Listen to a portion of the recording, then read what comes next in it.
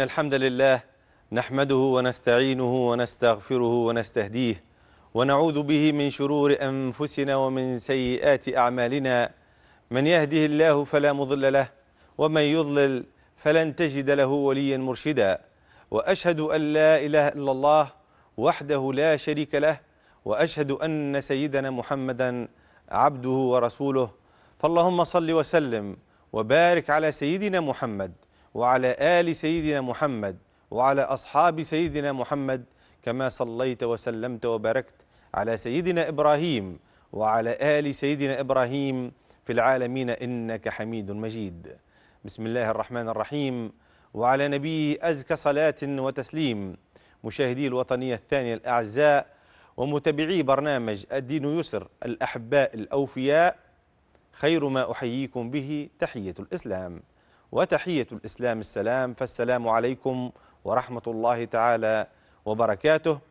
وأهلا وسهلا بكم في هذا اللقاء الأسبوعي الذي يجمعنا بكم كل يوم جمعة لتطرحون فيه الأسئلة والاستفسارات وكذلك لتوجيه الموعظة من حين لآخر بين ردهات هذا البرنامج وبين المكالمات الهاتفية التي نستقبلها على الرقم الموضوع على ذمتكم 93 438 038 هذا الرقم الذي يظهر أسفل الشاشة يمكنكم اعتماده لطرح الأسئلة وكل ما ترومون مع معرفة الإجابة فيه سواء كان فيما يتعلق بالفقهيات أو بالأمور المتعلقة بشائر المستجدات أو القضايا الفقهية المعاصرة أو ما يعني يعرض لكم في حياتكم أو ما يعن لكم من أسئلة. فنحن في خدمتكم وسعداء باستقبال مكالماتكم على ذلك الرقم 00216 لمن أراد الاتصال بنا من خارج أرض الجمهورية التونسية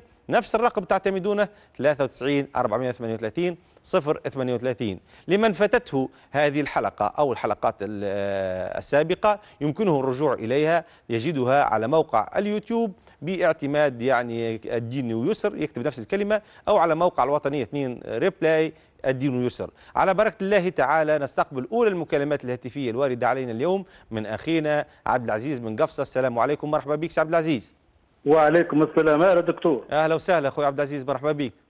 يعيشك يبارك فيك دكتور باش نسالك يرحم والديك و...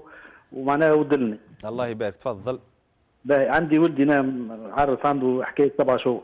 يا ربي هنيه إن شاء الله. عايشك. وثم شو مشاكل بينه وبين مرته لما حاله أما مشيت آخر مرة لدارها من الفترة اللي فاتت. أي نعم. اتعاركوا وياها بالتليفون. اي بالتليفون معناها قال لها راني طلقت كاركتايكا اي باهي. وتغشش شوية ما سمعتوش حلف أما قال لها راني راك طالقه راني طلقتك باش نطلقك.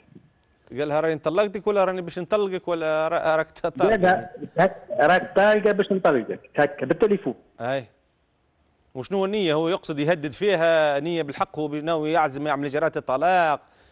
هو هو دكتور تغشش برشا معناها يمكن عوج عليه شوية تغشش برشا فخرج من سنيته وقال الكلام هذا.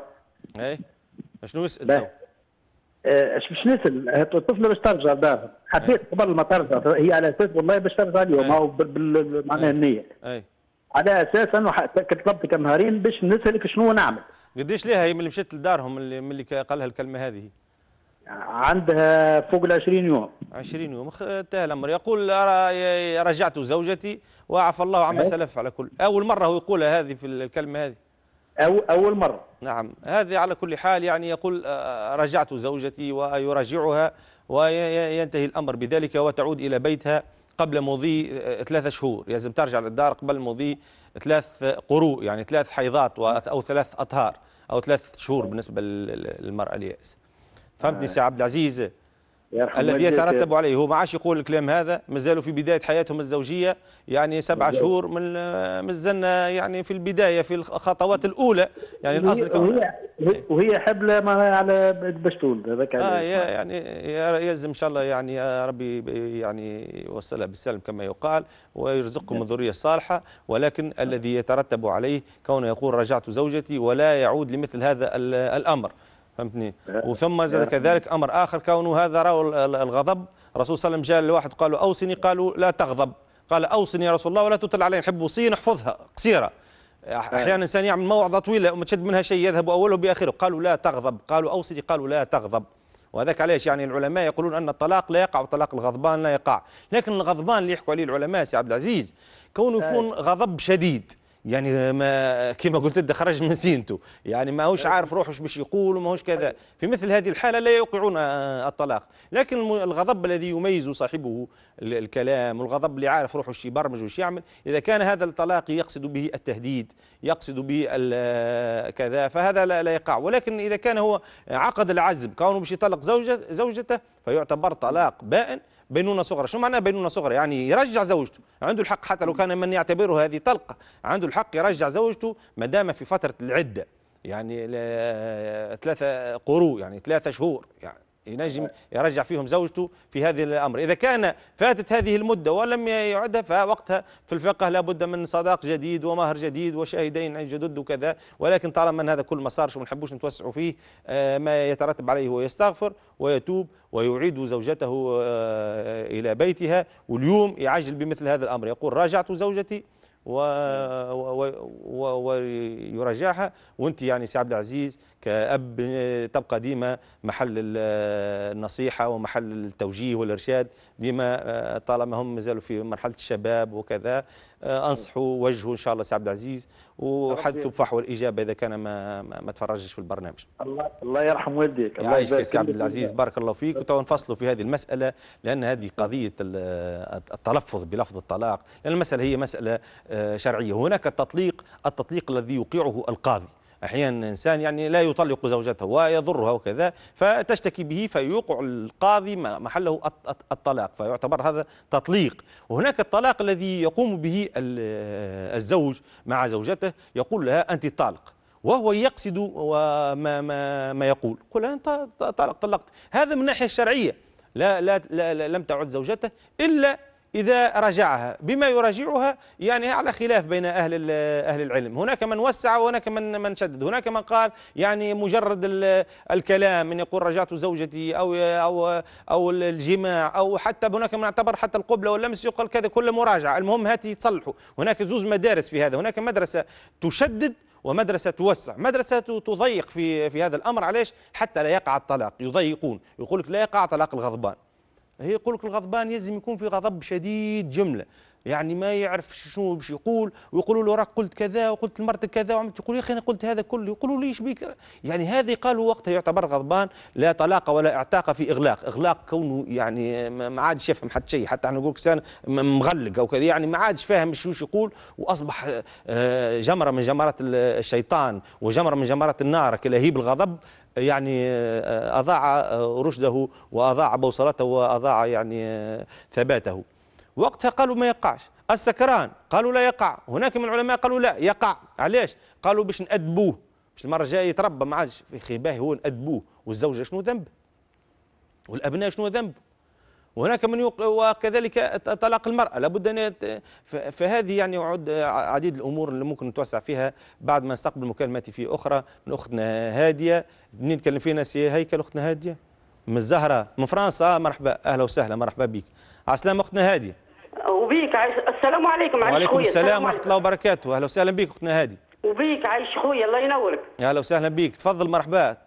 آه عندي آه زوز أسئلة. عندي السؤال الأول عم نور روحنا بكرهبه أي؟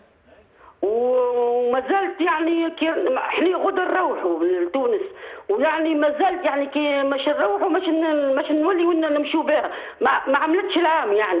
أي؟ ما يعني ما زلت ما عملتش العام. نحب نعرف عليها زكاة ولا السيارة هذه أختنا هادية شريتوها أنتم لكم أنتم ولا شريتوها؟ من فرنسا روحنا بها. روحتوا بها به. أنتم شريتوها بنية التجارة ولا بنية الاستعمال؟ معناها باش تستعملوها؟ لا بنية الاستعمال. بنية الاستعمال ما فيهاش زكاة أختنا هادي بربي. ما فيهاش زكاة السيارة طالما انكم تستعملوها وتسافروا بها وكذا وكي تجوا مروحين من فرنسا تجيبوها لتونس وكذا فهذا ما ما فيهاش زكاة لا لا محطوطة في تونس تونسية تونسية عندنا رجعناها تونسية. أي لكن أنتم هل ترى يعني هذه السيارة شريتوها بنية التجارة باش تتاجروا فيها؟ لا لا لا لا. بنية الاستعمال. استعمال مش نستعملوها وي. بالاستعمال الأشياء اللي يستعملها الإنسان. الرسول صلى الله عليه وسلم يقول هذا في الحديث رواه ابن ماجه وغيره يقول كون ليس على المرء في. على فرسه صدقة وعلى خادمه حتى العبيد قبل ما عليهمش زكاة الصدقه مقصود بها الزكاة. الأشياء اللي يستعملها الإنسان ولا عنده ذهب تستعمل فيه المرأة هذا ما عليش زكاة. الزكاة في الأشياء اللي تدر اموال في المال النامي. هذيك عليها زكاة أختنا هذه تو نزيدوا نشرحوا الموضوع. وعندي عندي ذهب وما محطوط في تونس كي نروح نخرج عليه الزكاة. وما اللي نستعمل فيه مانيش خارج عليه في الزكاة. آه، أختنا هذية بالنسبة نعم. لل خرج عليه صدقة ولكن هو كما قلت المسألة فيها رأيان. يعني رأي الجمهور كون الذهب الذي تستعمله المرأة عندها خواتم عندها سلسلة عندها خلخال أحيانا يكون حتى ذهب كثير. أحيانا في بعض مم. الجهات في الساحل أو في الجنوب أو في الشمال أو كذا يستعملوا الذهب تلقاه المرأة تلبس فيه يوميا. فهمتني؟ أو في في جربة أو في كذا يستعملوه. فهمتني؟ اختنا هذه أنت منين؟ من تونس كيف كنت في تونس؟ منين؟ انت من آه، من تون من محرس ولاية الصقر نشرف وأهلا وسهلا بكم ولاية صفاقس نعم. حسين نعم أهلا. وسهلا.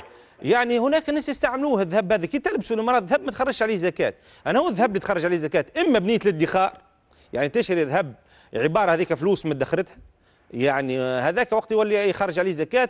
ق- كل ما يوصل آه، 85 جرام ذهب ذوق 24 يخرج يقومهم.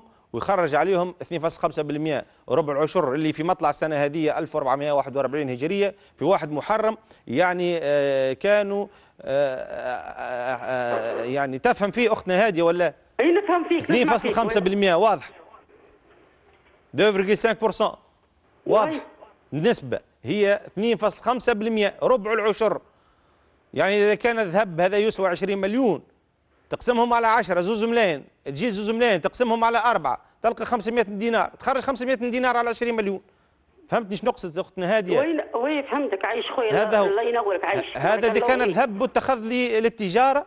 أو متخذ للادخار. إذا كان الذهب هذا تستعمل فيه أنت أو بناتك أو زو- زوجات ابنك أو كذا تستعملوا فيه وتلبسوا فيه فهذا ليس فيه آه، ليس فيه زكاة. عندك سؤال آخر أختنا هادية عندي سؤال الثاني. كي نقرأ القرآن نقراه آه، آه، جهر ما نقرأهوش سر. يعني هل جايز ولا تقرا في القرآن ما تقرأ فيه في دارك أنت وتحفظ في اي القرآن في داري يعني إيه. مع صغاري ومع زوجي يعني. عادي لا عادي تق- تقرأه جهر ولا لا بذ- بذلك. بارك الله فيك عايش. خويا الله ينورك. بارك, الله فيك. شكرا عايش أختنا هادي. حتى إحنا كذلك. السلام عليكم يرحم والديك. بارك, بارك الله فيك. نشكرك عايش ونشد على. يديك على هذا ال- الاهتمام بأمر دينك وتعلق ب- بشأن الدين يعني. ونعرف أن المسلمون في المهجر يعني لهم أحكام خاصة.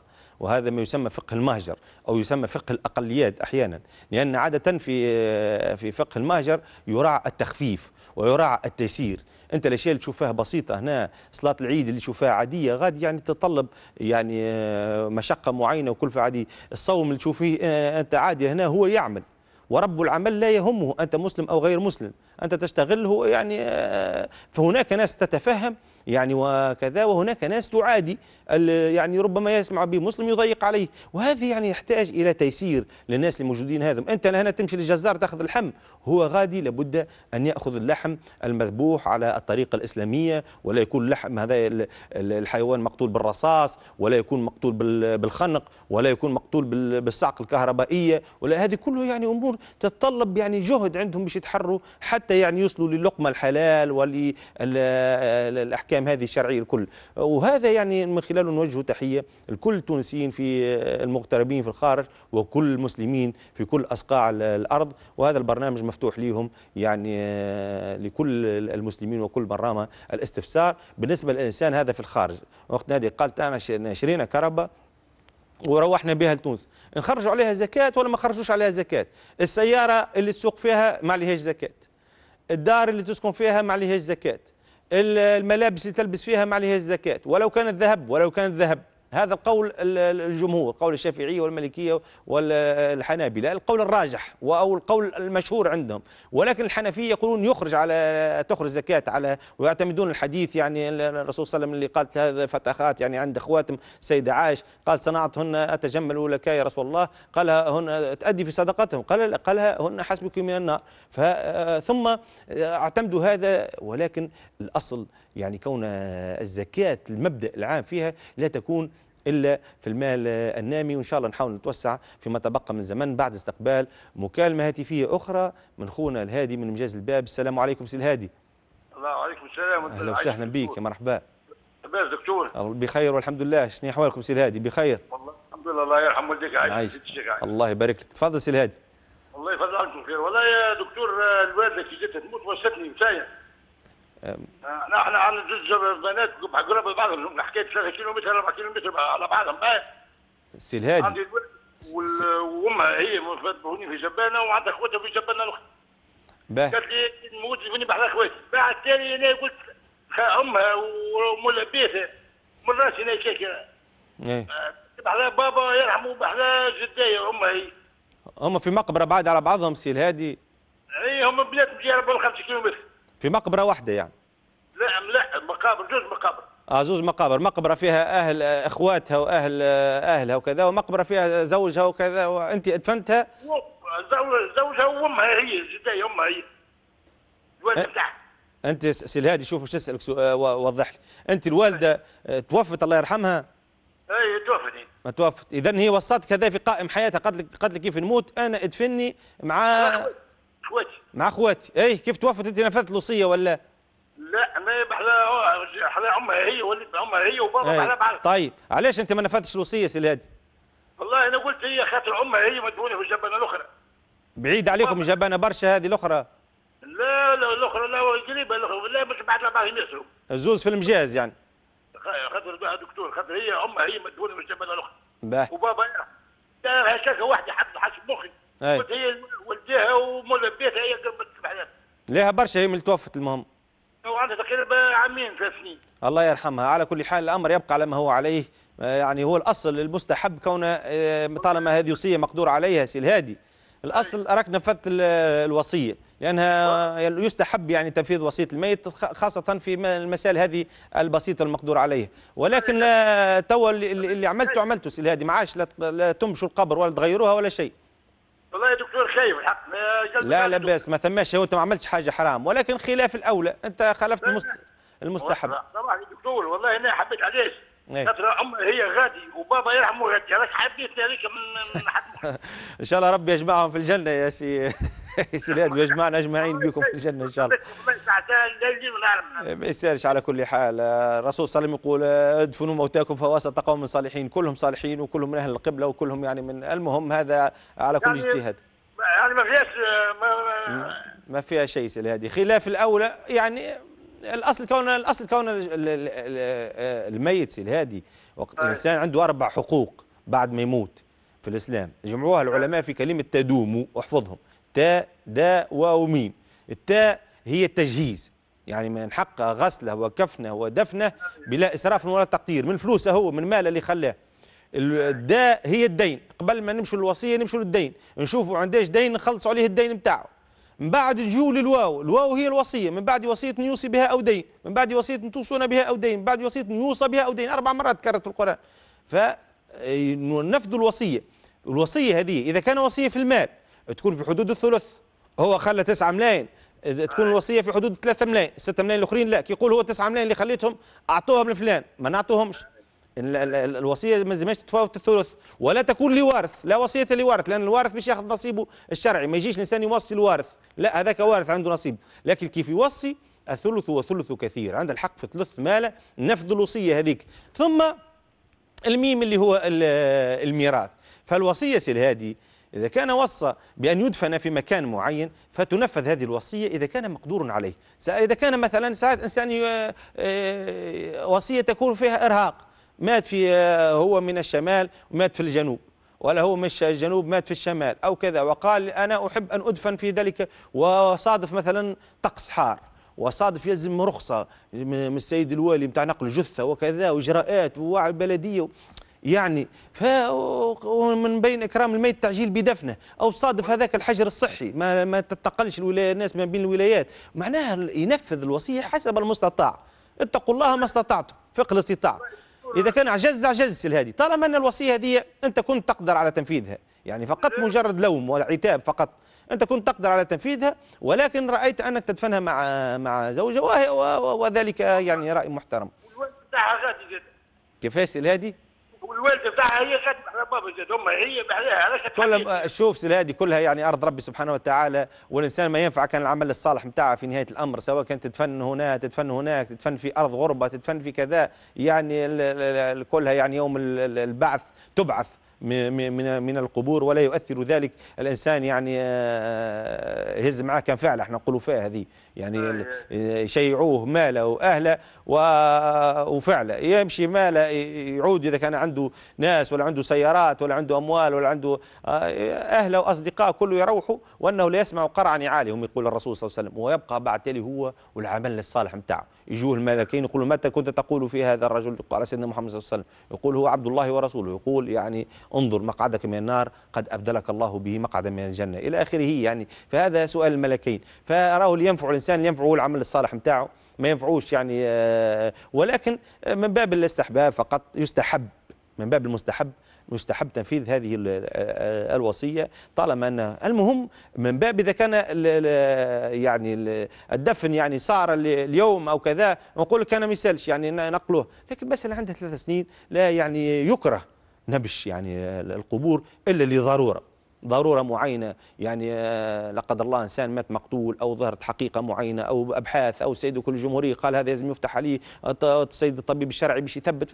هذه آه، وقتها نحلوا على القبر أو يعني آه، مسألة معينة أو ال- ال- القبر يعني أدركه ال- الماء مثل ما صار لل- الإمام المازري شيخنا يعني في دفين مدينة المنستير وقال لنا يعني فهذا وقتها ينقلوا ال- القبر ينقلوا الرفات نتاع الميت نتاع المتوفى ويكون باحترام هذا لأن أنا في أحد المرات فتحوا قبرا فالرسول الأكرم صلى الله عليه وسلم جاء حافر القبر ليكسر تلك العظام. جاء يكسر قال لا إن كسرك إياه ميتا ككسرك إياه حي كسر عظم الميت ككسر عظم الحي. قالوا إيش نعمل يا رسول الله؟ قال تحفر بجانب القبر لأن فما القبر وفما اللحد فما الشق وفما اللحد فما الشق اللي يكون يعني في وسط وثم اللحد الذي يكون على في جانب القبر. فالرسول صلى الله عليه وسلم قال يعني آه، اردمها يعني تكون لأن الآدمي مكرم.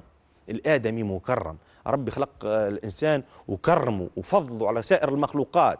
فلذلك سواء كان يعني أعضاؤه أو يعني آه، جنين أو كذا حتى كان سقط توفي لابد أن يلف في خرقة ويدفن على خلاف بين المذاهب في الصلاة عليه صلاة الجنازة هل يصلى عليه أو لا يصلى عليه. ولكن كل ما هو من جنس الآدمي حتى العلماء يقولوا إذا كان بترت لا قدر الله ساقه أو رجله أو شيء تدفن لأن الآدمي آه، مكرم.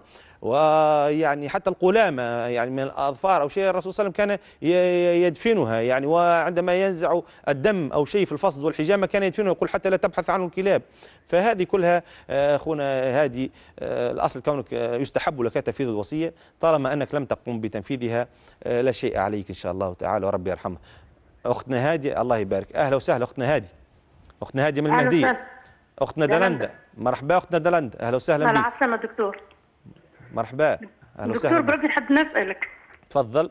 آه زوجي اللي هو ساعات نبدأ أنا ما عنديش آه فلوس. وهو ما يخليليش فلوس. ساعات آه يمشي يدوش ولا يمشي يخلي فلوس نمشي نهز مصروفي يعني حكم مصروفي برك حب نسأل الهدرة هذا حلال وإلا حرام؟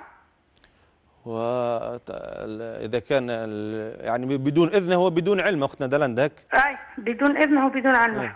أي. أي. وبعد كيف يكتشفوا اللي المال بتاعهم قص وكذا شنو يصير أنا ما سي... اي ساعات ما يفيق ساعات آه، يقول لي آه، نخبى عليه بصراحة نقول له ما زيدش خاطر حكم هو سعيد معايا شوف أختنا دلندا هو الأصل كون الزوج ينفق على زوجته يعني هو سامحني دكتور هو ينفق علي أما أي. أنا ساعات نسخف في حاجات خاصة بي فهمت؟ إيه، هذه من نفقته عليك يعني ما تحتاجينه من مأكل ومشرب وملبس وكذا ومتاع. ما إذا كان في آه، في في مقدوره فهذا يعني واجب عليه. هذه الحالات وقتاش تصير؟ إذا كان الزوج مقصر في النفقة لأن هذه كفى بالمرء إثما أن يضيع من يقود. وقتها يباح الأمر لأن الأصل كون هو المرأة راعية في بيت زوجها ويعني وهي مسؤولة عن رعيتها وهي مؤتمنة عليه. الدنيا متاع وخير متاع الزوجة الصالح. إذا نظر إليها زوجها سرته وإذا أمرها طاعته وإذا غاب عنها حفظته في ماله وعرضه ودينه. لكن والحال ما ذكرتي إذا كان هو مقصر على النفقة والأموال هذه ينفق فيها فيما لا يعني وكذا وأنت يعني تحتاج الضروريات ليك ولأبنائك أو أشياء يعني ضروريات آه. نعم ففي مثل هذه الحاجة يجوز كونك تهزي من ماله دون علمه. وهذه حدثت للسيدة آه، هند بنت عتبة زوجة سيدنا أبو سفيان. عندما يعني آه، قالت يا رسول الله أن زوجي آه، أبا سفيان رجل مسيك رجل شحيح قالت له يقطر علي في النفقه عنده الفلوس ويقطر علي تقدير كبير. أخذ من من من ماله سرا. قال علاش؟ قالت له ننفق على نفسي وعلى أولادي. قالها الرسول صلى الله عليه وسلم خذي ما يكفيك وولدك بالمعروف وفي رواية ما يكفيك وبنيك بالمعروف. بالمعروف لهنا يعني تحت ثلاثة سطور هذه. بالمعروف يعني بالمتعارف عليه بالعرف وثم حسب ال ال ال الإمكان والاستطاعة. ما معنى بالمعروف؟ يعني المتعارف في العرف. إذا كان في العرف يعني آه، من هو في مثلك وفي بيئتك ومن أقاربك ومن إمكانيات كون المرأة في في إمكانياته في مدخوله في شهرته تحتاج كذا لباس وكذا دواء وكذا دواء فتاخذي حسب المتعارف عليه أنت وأولادك. يعني فقط ما, ما مش معناها يجتاح الإنسان. فهو الأصل كانوا ما نصوش للمرحلة هذه حتى ما يعني ما تقعيش أنت في لا قدر الله في الكذب ولا يقع هو في التقصير في النفقة لأن الإنسان يعني كفى بالمرء اثما أن يضيع من يقوت هو واجب عليه النفقة. يا أخي ربي سبحانه وتعالى ما يقرف الآية الرجال كل يقول الرجال قوامون على النساء. إيه؟ بما فضل الله بعض من بعض باش. وبما أنفقوا من أموالهم. وعلى المولود له رزقهن وكسوتهن بالمعروف. بالمعروف يعني بالمتعارف عليه حسب العرف. إذا كان في العرف المرأة تحتاج كذا كذا يوفر لها هذا. ما فيش كلام معناها اختنا دلنت تفضل اختنا دلنت الله يخليك على كل حال أنا الذي أنصحك به كونك آه يعني تصارحينه في هذا الأمر وتقول له آه تقولين له أنا أحتاج إلى هذه 50 دينار نتاع كذا وهذه 100 دينار نتاع كذا وهذه 30 دينار نتاع كذا لا يا دكتور والله خلاص حكيت 5000 10000 مش حاجة يعني كبيرة يعني أشياء بسيطة يعني أشياء لا تذكر. أشياء بسيطة برشا لكن بحكم هو ديما رغم ذلك يبدأ يخدم بفلوسه وما يورينيش فلوسه ويقول لي ما عنديش وما اي سامحني يقول لك ما عنديش وهو عنده وما ينفقش هو عليك. عنده وما ينفقش هو- عليك. ولو إنسان يصلي يا. ما هو الص- الصلاة يعني لازم آه، منظومة متكاملة الصلاة هي فقط ما هو الإنسان مسؤول. زاد آه، والرجل راع في بيته وهو مسؤول عن رعيته ومسؤول على على زوجته. واجب عليه باش ينفق عليه واجب عليه. إما علاش هو في توا ال- الجماعات النسوية وكذا؟ كيفاش الرجال يورثوا أكثر من هو يورث آه، الضعف نتاع أخته؟ يوصيكم الله في اولادكم للذكر مثل حظ الأنثيين. علاش على خاطر لازموا نفقة يجيب مرأة ينفق عليها ولازموا مهر ولازموا متعة ولازموا كل شيء يعني يتكفل يتكفل به هذا. والمرأة حتى لو كان عندها يعني ملايين لا تجب عليها النفقة إلا من باب التطوع. وحتى زكاة الفطر وكل ما شيء في الزوج هو اللي يخرج على زوجته. وحتى الزكاة يعني ما يعطيهاش لزوجته لكن الزوجة هي مش واجب عليها باش باش تنفق إلا عن طيب خاطر إلا عن طيب خاطر. لأن الإسلام أباح العمل لل- للمرأة ولكن لم يأمرها. وحتى ربي في القرآن قال لا يخرجنكم من الجنة فتشقى. شنو شكون اللي يشقى؟ آدم تشقى مش حواء اللي تشقى. المرأة في الإسلام هي معزة ومكرمة. تشقى يعني تشقى يا آدم في السعي والكسب والعمل لإطعام حواء وتكريمها وتبجيلها. هذا هو الأصل. إذا كان هو يعني آه، معسر ولا ما عنداش فالمرأة آه، تصبر وتحتسب وتشد أزره وتسند ظهره وتكون له خير ال- المعين. والرسول صلى الله عليه وسلم كان تمر الليالي ذوات العدد في بيته يعني ولا ويعني ولا يوقد له نار وكذا والمرأة عليها أن تصبر وتحتسب أما يعني حسب ما ما ذكرت أختنا دلندم المهدية إذا كان المسألة يعني أصبحت آه، معناها موجودة عنده ولا ينفق عليها في أشياء بسيطة من خمسة دينارات وعشرة دينارات وكذا ما تحتاجه من زي من كسوة من من آه، مواد تحتاج إليها المرأة من خصوصيات المرأة هذا لا لا يعقل ولا يقبل. وحتى في الفقه بعض الفقهاء قالوا تقدم الزوجة على الأم في النفقة. ليش؟ لأنك أنت جبت بنت الناس يعني أخذتها باش تجوعها ولا باش لا؟ فهذا واجب يعني شرعا وقانونا وعرفا. فهذا يعني بع- بعجالة ما أردت أن أشير له في هذه القضية. ومن الدليل على هذا هو حديث الرسول صلى الله عليه وسلم لهند بنت عتبة زوجة أبو سفيان قال لها خذي ما يكفيك ولدك بالمعروف. قال خذي آه، يعني مقدار ما تحتاجين أنت وأولادك بالمعروف حسب المتعارف عليه وبالعرف وبالمقدار الجائز وما نحبوش إحنا هذا كله نصلوله لأن الأصل كون الحياة الزوجية تبنى على المودة وعلى الرحمة وعلى السكينة يعني ولا تبنى على المخاتلة والمباغتة والتنقيب والتفتيش والتعسير في النفقة والأخذ بدون العلم. هذه كلها رسائل لابد كون الصلاة المصلي يكون يعني خير الناس لأهله. الرسول صلى الله عليه وسلم يقول خيركم خيركم لأهله وأنا خيركم لأهلي. والسيده عائشة يعني قالت كان الرسول صلى الله عليه وسلم في بيته يكون في خدمة أهله. يعني يخسف نعله ويرقع ثوبه ويعلف الناضح ويعقل الشاة. هذه كل الرسول صلى الله عليه وسلم حتى السيده عائشة قالت كان حاله في بيته ضاحكا بسامة. إن شاء الله ربي يصلح حال ذرياتنا وأزواجنا ويعني ربي يبقى علينا ستر ورفض أزواج يقال على هذا وعلى ذاك يعني حتى ما يقولوش ببقاء زوجاتنا. وإن شاء الله ربي سبحانه وتعالى يجمع ما بيناتكم في الخير ويبارك لكم ويرزقكم الذريه الصالحه في نهاية هذا البرنامج لم يبقى لي إلا أن أستودعكم الله. الذي لا تضيع ودائعه في رعاية الله وحفظه. دمتم. والسلام عليكم ورحمة الله تعالى وبركاته.